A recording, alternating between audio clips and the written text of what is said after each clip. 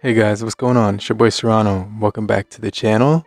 Now, today's video, we're going to be taking a look at the BLU G91S after about using it for one full month, and I think it's a pretty solid device after that time frame.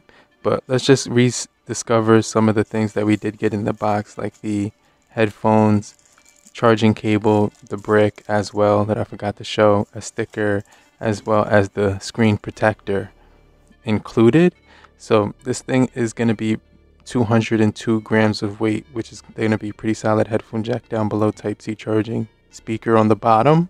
And we also do get a triple camera setup right there on the back, right? With a SIM card for expansion. So you're going to be able to get 256 um, gigabytes of a total expansion with this thing. And as far as the software, right? You're gonna probably wonder this does this thing get updates right? Because a lot of people wonder if smartphones get updates especially if they're budget devices. But i did get the march 2022 update which was pretty surprising and i definitely thought that was something that was really cool and something that was pretty um, you know dope to have coming on this device. Now the cameras look really cool right? And they, they have this nice transparent clear frame across it and you know you get the 48 megapixel 5 megapixel for the wide angle and 2 megapixel for the portraits and on the front right you're going to get that 16 megapixel camera which is going to be pretty cool to have. And um, you know overall the camera setup is going to be pretty nice. But i just mentioned 16 it's actually a 13 megapixel around front. So i just wanted to throw that out there. But you know definitely have a nice um, camera arrangement on the rear with it, you can see we do have a fingerprint sensor. And along with the fingerprint sensor, we, we have facial recognition on board as well. So you're gonna have for the for the main fingerprint, you're gonna you're gonna get that, and then for the secondary option is gonna be the fingerprint sensor, and then obviously they do give you uh, you know the password pattern or pin as well to back it. But I just wanted to mention that as well. Screencast on board. I just want to mention that we won't have you know NFC on here, so I just wanted to throw that out there. But as far as the, the settings and the customization on here, you're going to get some pretty decent features.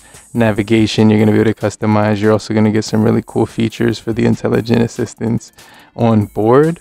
And, you know, it's going to be a pretty decent experience. It's obviously going to have the FM radio, all of the Google apps on here as well.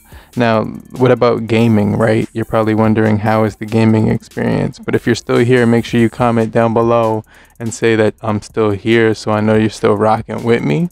But as far as this overall, can um, you know, the camera's decent, but obviously it's gonna be pretty. I'm gonna get into that in more detail, but the MediaTek Helio G80 is something that's pretty smooth on here. It's got a 12 nanometer processing chip, and it's got um, some pretty decent speeds coupled with the Mali G52 MC2. So right?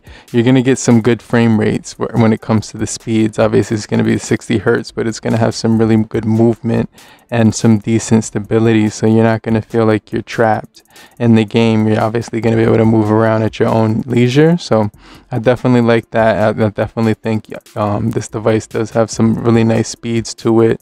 Really good and solid for overall gaming if you decided you wanted to pick this one up for you know gaming because it's gonna have some really decent speeds overall and uh, a nice flow to it right? So i definitely think that's something that's going to be pretty solid after using this device for about a month now. Some you could use some decent games like um, even genshin impact on here right? But the overall feel in the hand is going to be pretty solid. Like as i mentioned it has a nice weight to it 202 for the grams of weight um, it's got a nice feel form factor as well. And obviously, it's going to have a decent um, screen to body ratio when it comes to that 385 for the pixels per inch. So it's going to have a decent experience when it comes to so, uh, scrolling through, you know, social media.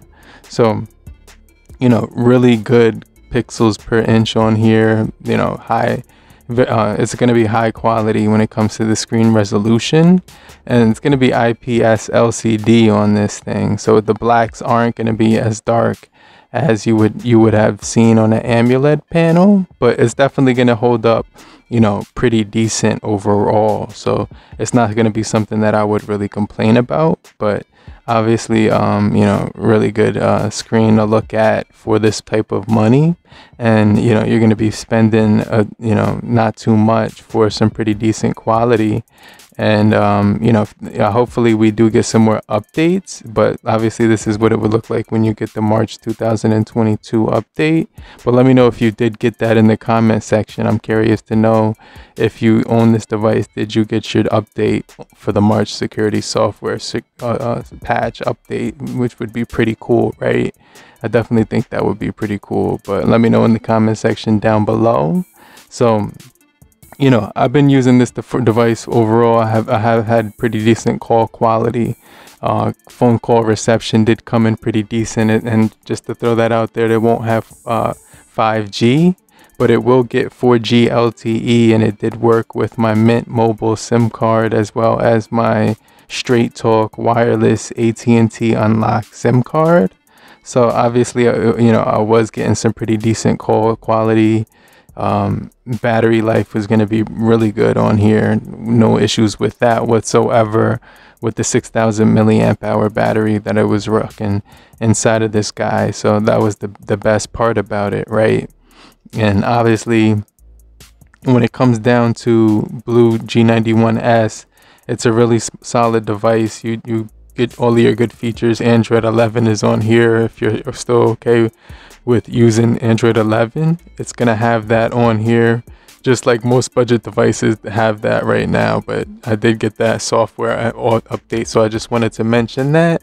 And, um, you know, overall experience has been pretty nice. We do get some pretty good features for the camera, AI face beauty mode, face ID, um, you know 1080 30 frames for front and rear which is pretty cool uh, bluetooth 5.0 uh, really good gaming experience. Also, the 3.5 millimeter headphone jack was pretty nice as well.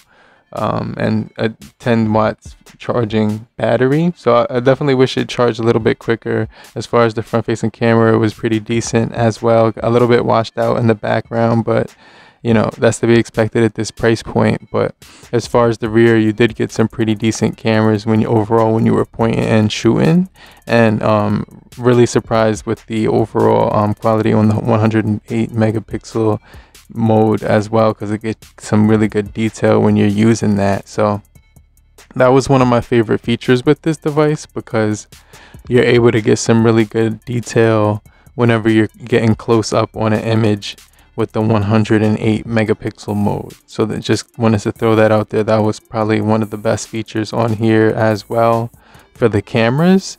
So, you know, like I said, it's going to get capture some really good uh, colors, but also the, you know, details that it's going to capture on the images uh, going to be pretty co um, compelling because it's going to not only leave out details, but it's going to capture the details and the colors uh, together and just provide you with a final product like, you know, the one you see right here. But hopefully you guys did find this video helpful.